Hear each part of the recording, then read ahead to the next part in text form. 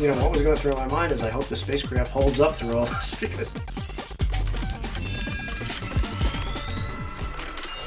Hi, my name is Ron Garan. I'm a former NASA astronaut. I did three missions with NASA, uh, two of them in space, one on the bottom of the ocean. I flew uh, in 2008 on Space Shuttle Discovery, and I flew in 2011 on a Soyuz spacecraft and spent about six months in space and did four spacewalks.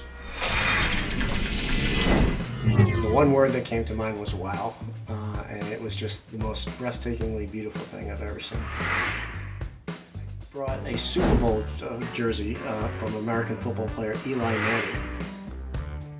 Sleeping in space is really peaceful and restful once you figure out how to sleep in space. And it took me about a month to figure out how to sleep in space, which was unfortunate since my first mission was only two weeks long. So I didn't, I didn't get much sleep on my first mission. I would choose flying a spaceship uh, that can also fly in the atmosphere. Is that cheating? you know, what was going through my mind is I hope the spacecraft holds up all this. I didn't always dream of becoming an astronaut, only since July 20th, 1969.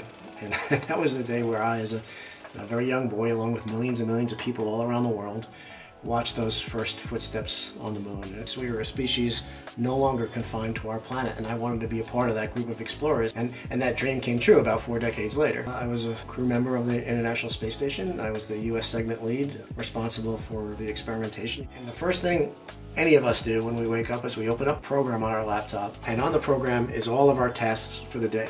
Those tasks are related to the scientific experimentation. I took 25,000 photographs in my time in space. We wanted to share the experience of being with each other.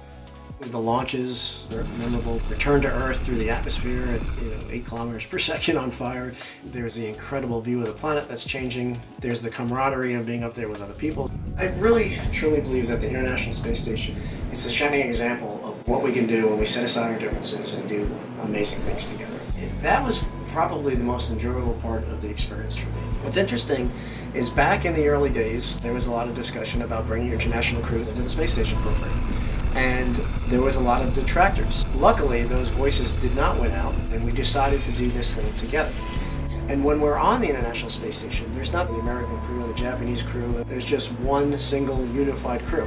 And we work together as one single unified international crew to protect and maintain the life support system and the mission of the space station, and to further the mission of humanity as a whole. And what we need to do is find the low-hanging fruit, find the things that we do agree upon, like space exploration, and work on that together.